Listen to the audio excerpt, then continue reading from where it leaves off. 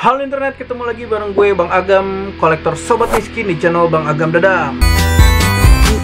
Yo, kali ini gue mau review lagi mainan Endgame ya Dalam rangka merayakan hype dan syukuran rilis dan suksesnya film Endgame. Jadi gue terus mau review all about Endgame. Tapi kalau kalian bosen, coba komen aja di bawah. Bilang aja, bang gue bosen lo review mainan Endgame terus. Tapi gue nggak peduli, gue bakal tetap review mainan Endgame so kali ini gue mau review salah satu SHF Endgame yang sudah gue dapat. Nah ini dia Black Widow almarhumah. So gue sengaja review SHF Endgame ini agak telat dari filmnya karena emang sengaja biar kalau gue review di awal-awal film muncul itu banyak alay-alay ya pada spoiler. Tapi kalau sekarang sudah aman, kalian mau spoiler terserah karena spoiler itu sudah halal ya. So langsung aja ini gue mau review SAF Endgame pertama Black Widow ya. Jadi langsung aja gue review di box beracun ya, biar lebih jelas dan lebih mantap reviewnya. Cus. Oke gengs, ini dia SAF Endgame Black Widow. Huh. Ini jujur aja Black Widow ini salah satu karakter yang gue nggak terlalu suka ya. Cuman pas di Endgame ini you have my respect dan aktingnya Scarlett Johansson di Avengers Endgame ini bener-bener total banget ya gue suka banget. E, kalian bisa lihat lah gimana stresnya dia gimana e, tertekannya dia ya karena kelakuan si Thanos dan mungkin karena dia kehilangan sahabatnya juga. Jadi gue bener-bener respect dan suka banget sama Black Widow ya terutama di Avengers Endgame. So langsung aja ngomongin mainannya deh kok jadi ngomongin uh, karakternya ya kita lihat lebih dekat dari atas dulu. Jadi kalau Avengers Endgame ini mostly packingannya warna putih ya. Ini kelihatan figurnya dari atas dan ini ada uh, tulisan SHF Figure Arts, The New Standard bla bla bla bla. Tulisan Black Widow, Marvel's Avengers Endgame ini ada icon Avengers-nya, lalu ada stiker Marvel, design by Tamashii Ini ada logo Tamashii nya dan logo Bandai warna biru. Di sisi kirinya ada icon Avengers dan logo SAF Figure Arts, tulisan Black Widow. Another side ada logo SAF kecil, tulisan Black Widow di samping dan ada stiker. Ini stiker apa nih? Oh, Tamashii Quality ya. And then di belakangnya tulisan Black Widow, logo SAF dan ini ada beberapa uh, foto figurnya yang diposekan ini simple style and heroic action bla bla bla bla bahasa Jepang I don't understand. Lalu ada stiker Hong Kong ya lalu ada warning 15 up dan ini ada asterik nih product may different from photo wah jebakan Batman nih Oke langsung aja gue mau buka mainannya ya. Ini bener-bener masih segel Gue belum buka sama sekali. Pas pertama datang belum pernah gue buka. Gue simpen gue tahan-tahan banget nih. Buka mainan ini spesial buat unboxing. Cielah padahal emang lagi gak ada waktu ya. So langsung aja gue buka ya. Ini masih solatif Oh gue butuh benda tajam dulu sejujurnya kalau packaging gue lebih suka Infinity War ya. Lebih beragam gitu warnanya. Ini yang sudah rilis sih ada tiga Thanos, Black Widow dan uh, Ant-Man. Semuanya tipikalnya warna putih kayak gini ya. Nah ini dapet. Thank you for purchasing this product and your support. Oh, nanti gue baca deh. Lalu dapet. Wah bisa ngaca halo halo ada kertas metalik ini gue balikin lagi. And ada manual book yang pastinya jarang dibaca oleh orang-orang seperti saya ya. Nggak tahu kalau kalian beli mainan atau beli barang-barang ada manual book kayak gini dibaca apa nggak? Coba komen di bawah ya. Kalau gue sih jarang ya. Jadi belajar sendiri aja dan ini dia figurnya. Kelihatan ya dapat aksesorisnya. Satu head sculpt kepala dapat dua senjata batang. Lalu ada ini apa nih? Kayak tempat pistol nih ada pistolnya dua. Dan tangan ada satu dua tiga empat lima enam tujuh delapan. Ada empat pasang tangan terpisah ya. Ada lima dengan yang sudah nempel di body. Oke langsung kita lihat lebih dekat aja ya. Oke gengs ini dia detailnya si figurnya Wow, cakep sekali ya. Detailnya nice. Emang bener-bener deh SAF nih. Cakep bener ya. Dari atas sampai bawah, really good. Detailnya simply best banget ya.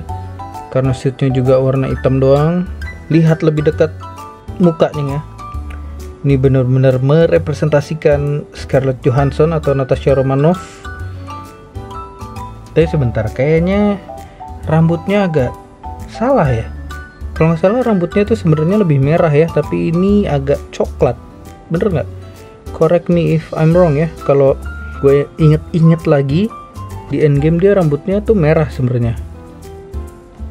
Tapi ini merahnya nggak merah sih malah coklat. Aduh tapi nggak apa-apa lah tetap cakep ya. Lihat uh, bodinya suitnya nice banget. It's Astagfirullahaladzim kepegang uh, neneknya maaf ya Neng Skarjo ini detailnya nice ya karena warna hitam jadi lebih elegan ditambah detail-detail garis-garis gitu. Terus kayak tekstur bajunya itu berasa banget ya kelihatannya. Nice. Ini ada logonya. Oh beltnya emang miring nih. Gengs nih beltnya miring lihat nih pelindung lututnya. Detailnya kece banget ada detail lagi. Oh gokil. Mini hot toys ya. Kalau lihat dari detailnya lihat sepatu bootnya nice. Dan that's America's ass. Cakep banget nice. Lihat detail tangannya it's good ini gue suka banget nih ada detail kerutan-kerutan di bagian belakang uh, punggung pinggul. Nice. Di tangannya juga lihat nih kerutan sininya. Keren ya. Keren ya. The best. Nice. Detailnya sih sudah tidak usah diragukan lagi ya. So sekarang gue mau cek aksesorisnya satu persatu. Yang pertama ada faceplate ya. Ternyata faceplate gue kira head sculpt sorry ternyata ini faceplate. Aduh bedanya sedikit banget sih cuman ini matanya lurus ini agak melirik dan senyum sedikit. Ekspresinya nggak terlalu ekstrim ya bedanya. Kenapa nggak dibikin ekstrim sekalian gitu? Lagi action kayak lagi mangap kayak apa kayak tapi gue tetap suka banget sih. Cakep banget mukanya. Dan matanya hijau jelas banget kelihatan hijaunya ini sekalian kalau mau dicopot ganti mukanya gampang. Plug and play gengs plug and play kayak gini. Set. Udah ganti deh. Dengan head sculpt lirik manja. Lalu aksesoris berikutnya ada senjata eh, tongkatnya ini. Ini detailnya nice ya. Kecil-kecil tapi full of detail. Dan ini bisa dicopot. Tuh bisa dicopot. Gua nggak tahu nih buat apa dicopot ya. Oke lalu dapet tempat senjata di paha nih kayaknya. Kalau yang terpasang sekarang itu dia set dengan senjatanya. Ini nggak bisa dicopot jadi dia bikin alternatif holder gunnya. Jadi kalau lagi ceritanya senjatanya dipakai ganti pakai yang ini. Aduh ribet banget ya. Kenapa nggak dia bikin pistolnya bisa dimasukin ke holder gunnya aja ya? Kayak Legends gitu dia bikin senjata nah ini dia juga dapat pistol soalnya. Jadi kenapa nggak dibolongin ini? Tempat senjatanya. Tinggal dimasukin gini jadi lebih efektif. Nggak mau bazir bahan men. Ya nggak? Men lo kalau mau pose lagi pegang pistol ganti ininya nggak ada pistolnya. Kalau lagi nggak dipakai ini ganti dengan yang ada pistol. Gitu kan? Ribet gitu ya. Netizen bisanya cuman komplain So ini dapat pistolnya dua pasang juga. Pistolnya ya standar lah, polos kecil, handgun biasa. Oke, okay, nextnya nih ada sepasang tangan lagi tangan nemplok ya. Terus kalau kalian lihat di kanan kirinya beda, sebelah kirinya dia ada GPS Quantum Realm Suit ya. Tapi ini nggak movie akurat. Ini ini yang sudah bocor di internet sebenarnya akhirnya di reshoot ulang dibikin bentuknya device-nya agak sedikit beda. Kalau kalian inget di filmnya ya bentuknya nggak kayak gini nih. Lalu dapat relax hand sama ya. Detailnya mirip keren banget detailnya. Lalu dapat tangan menggenggam. Ya ini ada bolongannya. Sepertinya buat menggenggam senjatanya ini. Oh jadi dia dicopot biar bisa pasang di tangannya. Nah gini. Oh. Nah gitu makanya senjatanya bisa dicopot. Berikutnya ada tangan nih hmm, lagi megang pistol berarti lagi menggenggam pistol ya. Coba coba coba. Nah ini dia. Oke okay. nice. Perfectly fit ya. Pastinya dong. Nice. Oke okay, sekarang uh, ke bagian artikulasi ya. Dari atas kepala dulu seperti biasa harusnya bisa 360 derajat yes. Dia bisa. Cuman agak keganggu sama kepangan Elsa-nya ini ya. Sama ininya juga nih. Oh iya nih senjatanya bisa dicopot. Batang senjata di sini ya. Lalu bisa goyang-goyang seperti ini. Kepalanya nice. Tangannya bisa segini jauh. Good. Lalu 360 derajat pastinya dan dia butterfly join gengs. Nah ini kelihatannya butterfly joints jadi bisa lebih maju gitu posisi tangannya tuh. Dan bisa lebih ke belakang gini. Karena ada efek butterfly joinnya. Dan sikunya bisa ditekuk segini. Dia nggak ada bicepnya. Tangannya bisa diputer. Ke atas ke bawahnya juga bisa. Ngikutin poros uh, artikulasinya aja nah di bawah neneknya ada artikulasi juga. Bisa diputar seperti ini. Pinggangnya juga ada tapi agak sedikit keras ya. Ini pinggulnya kalau diperhatikan agak sedikit besar ya. Ini isu yang sama dengan SAF Captain Marvel dan gue nggak ambil sih karena nggak tahu ya kurang serak aja Captain Marvel. Ini pinggulnya lebih besar tapi katanya juga untuk kebutuhan artikulasi so makanya kita coba aja. Kakinya bisa split segini jauh. Nice. Black Widow gitu loh. Nendang ke depan. Ini ke belakangnya bisa jauh tapi bagian pinggulnya ikut naik ya. Kalau dilihat di beberapa sisi agak terlihat aneh tapi ini emang kebutuhannya buat artikulasi. Lututnya juga sempurna double join perfect. Kakinya ke atas ke atas seperti ini ke bawah segini. Ada artikulasi lagi di ujung kakinya ya.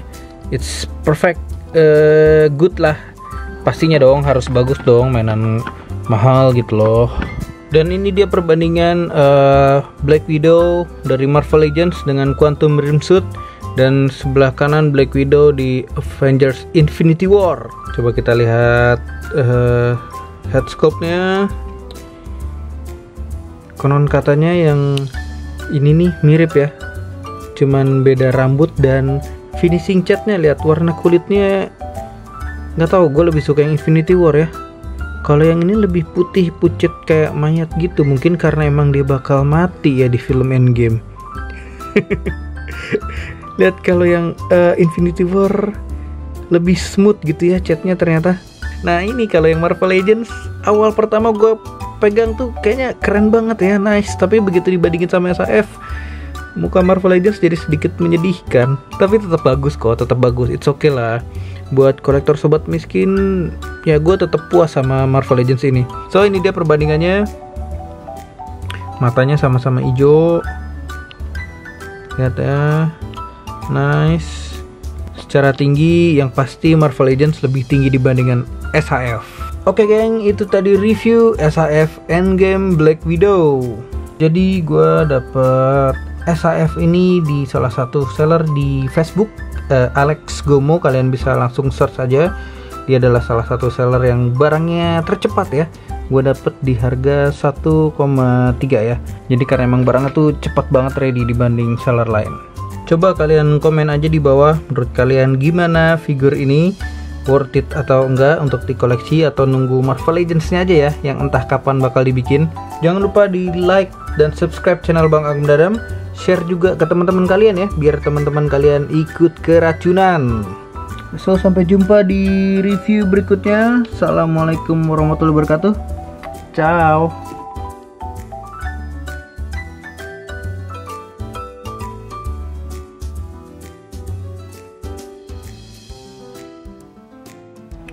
Oke ini kalau side by side dengan Ronin Marvel Legends ya agak sedikit kecil memang untuk SAF tapi karena knowing dia adalah uh, karakter cewek jadi ya bisalah diakalin.